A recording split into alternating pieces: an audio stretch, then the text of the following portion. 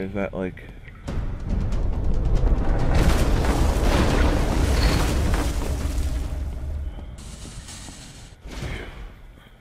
Ugh. It was after the uh, the scarecrow part that was really hard too. It was like,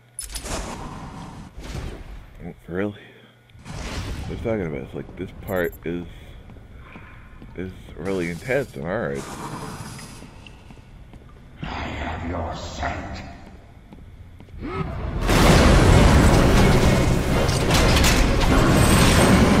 No, I freaking got him! Liar! I got him.